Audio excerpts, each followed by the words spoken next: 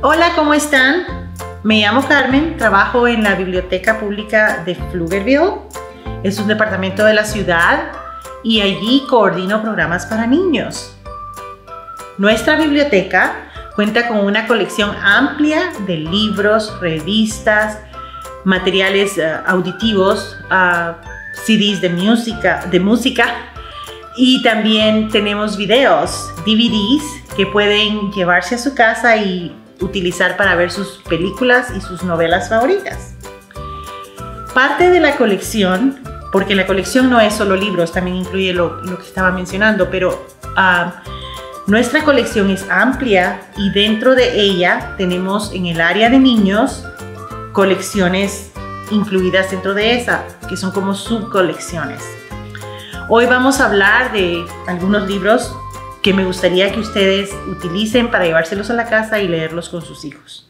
Los primeros libros que quiero contarles acerca de ellos son dentro de nuestros libros de materiales temas informativos lo que diríamos que es no ficción. Son libros de temas informativos que incluyen datos verdaderos. Y en ellos contamos con la biografía de Celia Cruz. me imagino que ustedes han escuchado su música e incluso ella ha amenizado algunas de sus fiestas. Celia Cruz es un gran personaje, un ícono en la música latina y me siento muy orgullosa de que este libro esté aquí. También tenemos el libro de la chilena Gabriela Mistral. Es para niños, entonces les enseña información acerca de la poetisa y de cómo ella obtuvo el premio Nobel.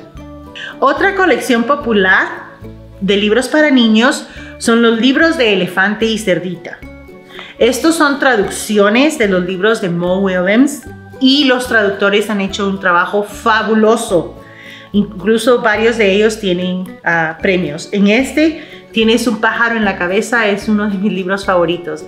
Todos, todos estos libros nos hacen reír, pero espero que los chequeen y se los lean a sus hijos en sus casas. Y bueno, cuando nuestros niños empiezan a leer, necesitan materiales que sean fáciles.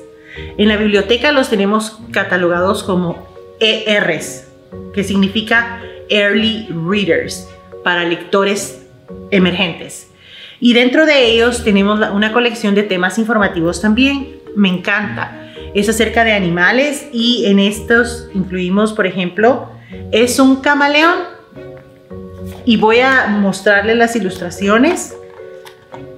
El libro es fabuloso y este contiene dentro de la colección otros. Es un chimpancé, es un jaguar, es una boa constructora.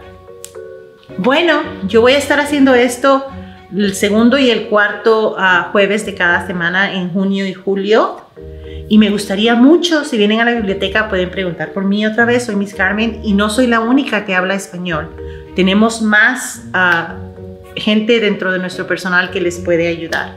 Visítenos y vengan a llevarse los libros en su lenguaje nativo, que es el mío también. Estén bien.